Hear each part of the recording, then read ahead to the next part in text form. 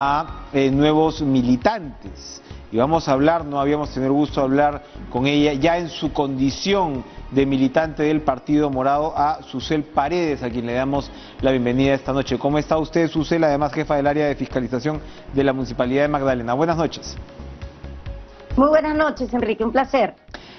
Cuénteme, ¿cómo, por supuesto usted ya tomó una opción, además electoral, que es la del Partido Morado, si se ha inscrito es porque usted plantea seguramente participar en las elecciones internas, pero ¿cómo ve entonces esta, esta jornada eh, que termina eh, con, en realidad, pocas sorpresas? Estamos al filo, además de que eh, se confirme o no esta alianza entre APP y el PPC. Bueno, primero señalar que mi participación en el Partido Morado eh, no es a título personal, sino que yo ingreso al Partido Morado por un acuerdo político entre Fuerza Ciudadana y el Partido Morado. Y nos hemos inscrito solamente dos militantes de eh, Fuerza Ciudadana, que es el compañero Segundo Torres de Tumbes y quien habla. ¿Por qué nos hemos inscrito en el Partido Morado? Porque en Tumbes eh, no, puede, no hay 20% para invitados porque solo son dos cupos.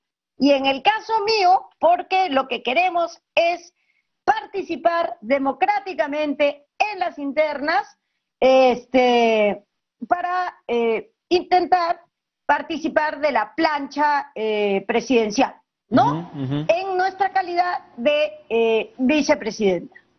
De vicepresidenta. Entonces, hasta, hasta ahora podríamos considerar que la opción más clara como precandidato presidencial será la de Julio Guzmán. Sí, no tengo conocimiento de, y recién he entrado al partido, de otras, de inscripciones de otras personas que postulen a la presidencia en las internas, ¿no? Eh, en todo caso, los procesos internos también son complejos. Hay que eh, ver si la inscripción va a ser eh, por lista cerrada o cargo por cargo. Son una serie de detalles de la democracia interna de los partidos, que sí son partidos y que tienen este, procesos democráticos que se están llevando a cabo, ¿no? Ahora, nuestro eh, acuerdo político precisamente se ha hecho con el Partido Morado porque ha demostrado primero que es un partido institucional. Eh, desde que me he incorporado todos los días tengo dos o tres sesiones de Zooms con distintas regiones, distritos, provincias, lo que me demuestra que el Partido Morado es un partido con bases realmente existentes. Eso nos alegra y nos entusiasma inmensamente. Y la otra es que ha tenido una bancada muy responsable en su conducta político, política, en su desempeño en el, en el Parlamento.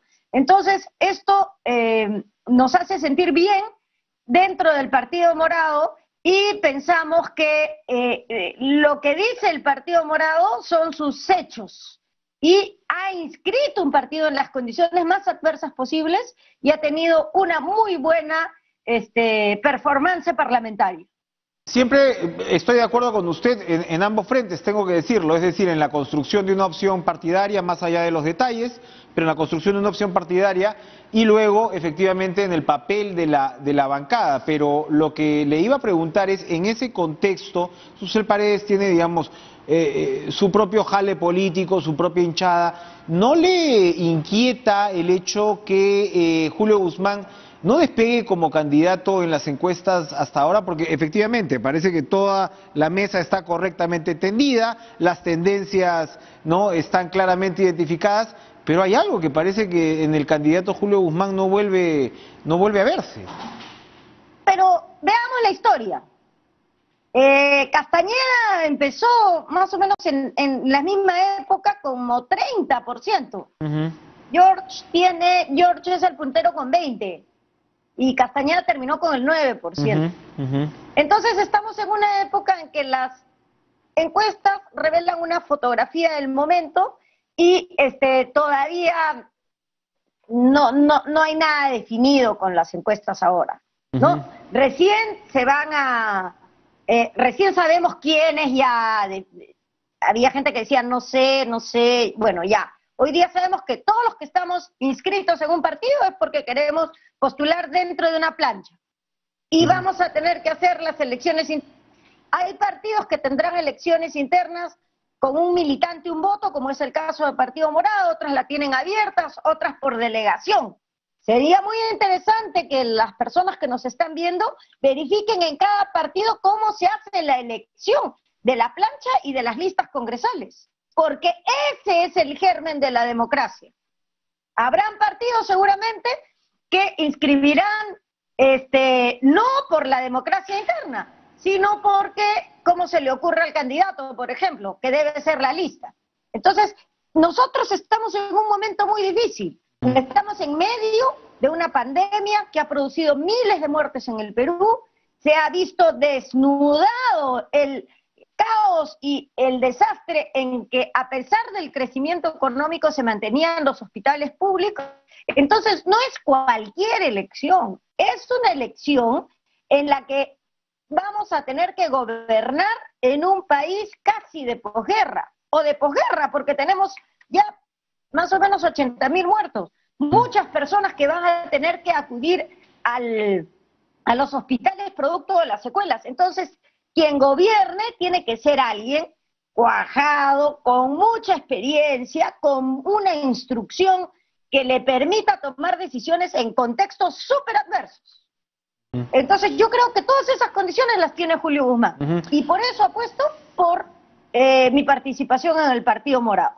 Usted viene de la izquierda, usted se formó en la, en la, en la izquierda. ¿Cómo conversa con el Partido Morado? Eh, evidentemente, no vengo, no vengo, yo soy ya, bueno, gracias por la aclaración. Usted es de izquierda. Entonces, ¿cómo se ensambla en el ideario del Partido Morado, que más bien unos, bueno, sus críticos van desde decirles caviares hasta una suerte de tecnócratas light, una especie pues de indefinición cuando hablas del centro. ¿Cómo conversa una mujer de izquierda en este caso? Bueno, este, nosotros somos de centro izquierda. ¿Ya? De hecho, eh, si tú me dices, yo me podría identificar como el centro dentro de la izquierda, ¿no? Y este, desde el Partido Morado, que plantea una plataforma de centro democrática republicana, en este momento en el que tenemos que enfrentar a uno de los peores enemigos de la patria, que es el populismo, es decir, las ofertas de los candidatos sin base técnica, sin capacidad de hacerlas posibles, sabiendo que le engañan a la gente, es un enemigo terrible para un país, para el desarrollo de un país. Entonces, nosotros planteamos que es el momento que en el centro nos juntemos quienes tenemos más coincidencias que diferencias para enfrentar el 2021, que como te digo, plantea un plan de gobierno de posguerra, en, que, en los que tengamos, primero, ¿qué vamos a hacer con el sistema de salud? Tenemos que tener un sistema de salud integrado, único, que sepa atender a las personas en este contexto, pero que lo reforme para siempre. No es posible que teniendo plata la gente se haya muerto en la puerta de los hospitales. Otra cosa que tenemos que entender es que ha habido plata en las regiones, ha habido plata en los distritos y no se ha gastado. Mm. Entonces tenemos que trabajar desde el Ejecutivo con las regiones y los distritos, porque han habido momentos en que las canastas, estando, teniendo la plata, no se han repartido. Tenemos que trabajar muy duro y eso qué implica? Capacidad técnica y conocimiento, instrucción y conocimiento. Entonces, eso me acerca a mí al Partido Morado. Una plataforma de centro donde los demócratas, las demócratas, que pensamos que el populismo y el autoritarismo son los grandes enemigos de la patria, nos unamos para defenderlo en el peor contexto de los últimos 100 años. Muy bien, ahora, es imposible no preguntarle a Susel Paredes, hemos tenido aquí a, Julio Guzmán, antes hemos conversado con, el señor Forsyth, en fin, con, con, varios candidatos que representaban, se supone, cierta tendencia de centro, porque ojo que ahora el señor César Acuña dice que él también es de centro, no sé si usted lo considera así. Es que, como han visto en las encuestas, que el centro ahora tiene un porcentaje importante de, o sea, que mucha gente votaría por una propuesta de centro, entonces ahora todos van a ser de centro. Pero eso es ahora después de las encuestas. Pero nosotros somos eh, planteamos este acuerdo político de centro hace más de cuatro meses y medio, cuando no estaba en las encuestas. Bien. Entonces, este, también hay que ver este, eso, ¿no? Pero, hay gente que dice las cosas en el momento oportuno para decirlo, este, lo que, lo que la gente quiere escuchar. Eso se llama populismo, eso no hacemos nosotros. Pero cada vez que he podido le he hecho en meses anteriores, porque ahora ya estamos pues en la carrera o comenzando la carrera, pero le preguntaba a estos candidatos potenciales, oye, ¿no temen ir divididos? Y se lo preguntaba siempre a Guzmán, y Guzmán siempre decía que tenía que conversar con Del Solar en ese momento, con Forsyth. Y el caso suyo pues con Forsyth era evidente que eran ustedes pues una especie de de dupla, de yunta, eran, eran, eran el yin y el yang, ¿no? En términos de la caracterización política, al menos eh, en esa primera etapa de Forsyth en la, en la, en la, en la victoria. Usted de repente eh, eh, atemperaba lo que era más duro en él, le daba pues una cuota de experiencia a lo que era su inexperiencia, valga la redundancia, pero usted se fue. ¿Nos puede decir por qué se fue? Porque ahora claramente pues Forsyth también va a ser candidato y usted va a estar en una candidatura rival a la de Forsyth, probablemente en parte compitiendo por una, un pedazo del, mismo bolsón político.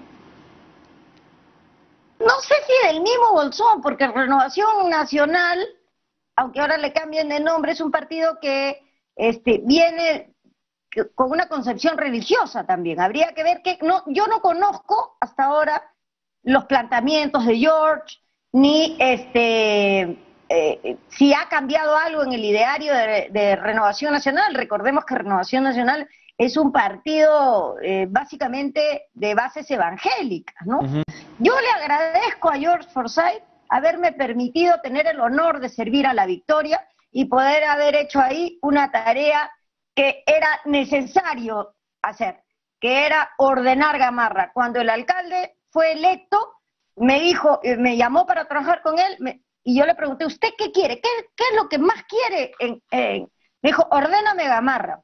Y yo hice ese trabajo, lo hicimos en equipo, coordinamos con la Policía Nacional, con el general Hananel, que en ese momento era el subcomandante eh, general de la Policía Nacional, hicimos una estrategia incorporando a muchos sectores del Estado. Entonces, yo cumplí con, con, la misión que me encargó mi alcalde. La cumplí con lealtad, con honestidad, con entrega absoluta. Y cumplí un ciclo y me fui a servir al distrito por el que yo había postulado, que es Magdalena del Mar. Yo a George Forsyth le deseo la mejor de las suertes. Es un hombre joven, conoce la mitad del planeta, habla muchos idiomas, es un chico eh, que tiene eh, mucho entusiasmo por la tarea que por el reto que se ha formulado, que es ser presidente de la República. Pero se fue. Su ser parece no, igual de... No, pero se fue, se fue, digamos, de lo que podía haber sido esa opción. Por eso, bueno, respeto su, su elegancia en todo caso y su discreción para responderlo, pero... No conozco, no, no, no, me, no estoy evadiendo la pregunta, lo que pasa es que yo no conozco cuáles son sus... Eh, y cuál es el ideario político de, Renovación Nacional con la incorporación de George. O sea, ¿qué cambios van a haber en la ideología de Renovación Nacional con la incorporación de George? Porque, por ejemplo, respecto a, derechos humanos, este, Renovación Nacional negaba los derechos de la comunidad LTGB, este, era, es un partido básicamente conservador, y de orígenes religiosos. ¿Qué ha cambiado ahí? Porque te imaginarás que con eso yo... Eh, difícil, eh, difícil. hablando de religión, no puedo comulgar. Claro, claro, difícil. Ahora, pero una, una, una pregunta del estribo ahí. El teniente alcalde Luis Gutiérrez ha reemplazado a Forsyth. ¿Cuál es su, su, opinión al respecto, siendo pues un distrito tan importante y que usted lo ha conocido además también? Ah, claro, el, el señor Gutiérrez a la tierra. Bueno, es un, un hombre hecho con su propia mano, un emprendedor eh, muy trabajador, reconocido en el distrito, un comerciante este, que, bueno, tiene años en, el distrito, es, es, un victoriano en esencia, y yo creo que él este, va a hacer un gran trabajo, va a hacer un gran trabajo. En los meses en los que yo estuve trabajando en la Victoria, lo vi muy ponderado, siempre preocupado por las cosas que había que corregir. Este, muchas veces me llamó para, para coordinar algunas cosas yo creo que lo va a hacer muy bien, la mejor de las suertes para el señor ahora alcalde Gutiérrez Salvatierra. Y este, yo creo que es un hombre que además va a entender muy bien la parte de, del empresariado y de los emprendedores. él, él, el señor tiene una tienda de, tiene varios negocios, pero me acuerdo claramente que él tiene una fábrica, una, una tienda que vende colchones.